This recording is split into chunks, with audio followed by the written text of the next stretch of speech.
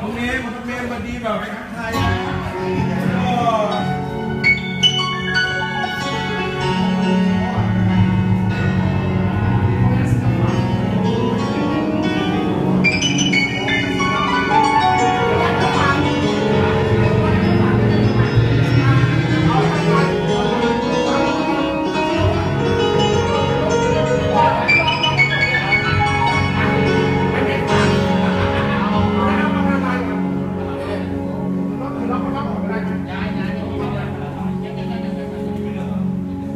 อ่าพี่จิ๋ว